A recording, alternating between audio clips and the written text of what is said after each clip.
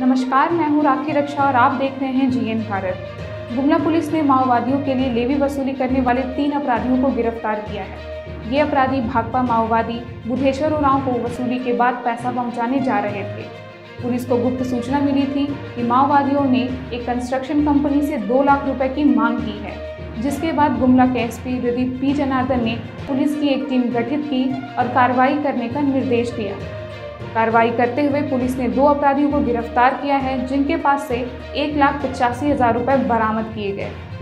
Police ने अपराधियों का नाम सुरेश उरांव और रवि सिंह बताया है, जिन्हें फिल्मोन कुजूर नामक व्यक्ति ने माओवादी बुधेश्वर उरांव तक पैसे पहुँचाने का निर्देश दिया था। गिरफ़्तार अपराधियों के बयान के बाद फिल्मोन कुजूर को भी गिरफ़्तार कर लिया गया है। गुमला एसपी प्रदीप पी जनार्दन ने प्रेस कॉन्फ्रेंस कर बताया कि 8 अप्रैल को लेवी की वसूली की गई थी, जिसके बाद 9 अप्रैल को एफआईआर दर्ज कराया गया।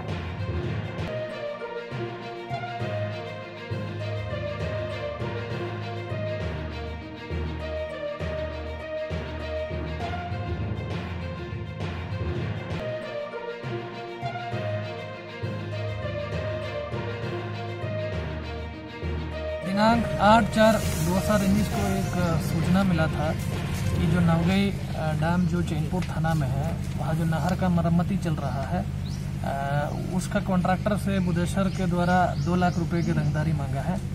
इसका सत्यापन और अग्रदर कार्रवाई के लिए एस एसडीपीओ चैनपुर सरिल मरंडी के नेतृत्व में एक टीम का गठन किया गया। टीम के द्वारा इस सूचना का सत्यापन किया। सत्यापन के क्रम में पता चला कि उस कॉन्ट्रैक्टर का मुंशी फिल्मोन कुजूर के द्वारा दो आदमी को जो दो लाख लेवी का वन, एक लाख नब्बे हज़ार रुपये दे दिया है। इसको पकड़ने के लिए पुलिस के द्वारा चकनाका लगाया और साढ़े बारह बजे एक बाइक में दो व्यक्ति आ रहा था जिसका तलाशी के क्रम में उनके हाथ से एक लाख नब्बे हज़ार मिला। और दोनों का नाम सुरेश साहू और रवि सिंह है। ये लोग अपने पूछताछ के क्रम में बताया कि फिल्मोन कुजूर के द्वारा ये पैसा बुधेश्वर को देने के लिए इन लोगों को दिया है। अब ये दोनों व्यक्ति के द्वारा पहले भी माओवादी के लिए लिबी का पैसा यहाँ वहाँ से उठा के दे दिया है। ये गुमला पुलिस के लिए बहुत अच्छा उपलब्धि है। हम लोग धीरे धीरे जो नक्सल दस्ता हमारा बुधेश्वर और रविंद्र गिंचू का है, इसको सपोर्ट करने वाला सपोर्टर और इसको ऐसे लॉजिस्टिक सपोर्ट करने वाला आदमी को हम लोग चिन्हित करके कार्रवाई करना शुरू कर दिया है।